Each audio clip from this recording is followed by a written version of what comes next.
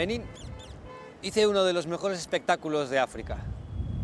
Tenía una, herida en un pie varios días que no se cerraba. Creo que un mosquito o un bicho me entró y no conseguí sacarlo. Y la herida me empezaba a preocupar porque no conseguía curarla. Tenía que buscar un hospital. Y entré en Paracú y vi un hospital. Fui de cabeza.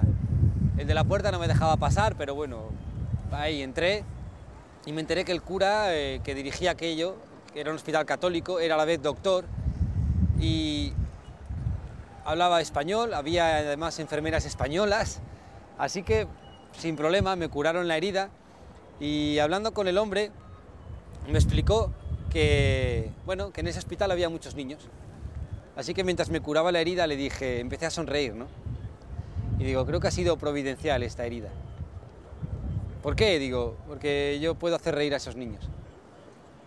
Y le conté el proyecto y bueno, pues sin problema, no había que hablar más, ya había una habitación esperándome, ducha, y al día siguiente visité vestido de payaso las salas de los enfermos, me acuerdo un chico quemado en el 85% de su cuerpo, ah, terrible, no sé, estar vestido de payaso y ver eso eh, se te cae el alma a los pies.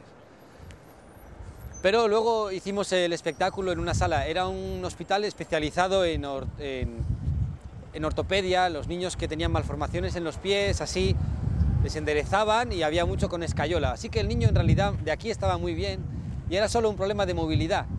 Pero los llevamos a todos a la sala y ahí hice el espectáculo y fue ah, una maravilla. Eh, las, pies o las piernas de ortopedia las hacen ellos de madera, las muletas tienen un taller, bueno, es, un lugar increíble en Paracú. Y es el Hospital de San Juan de Dios,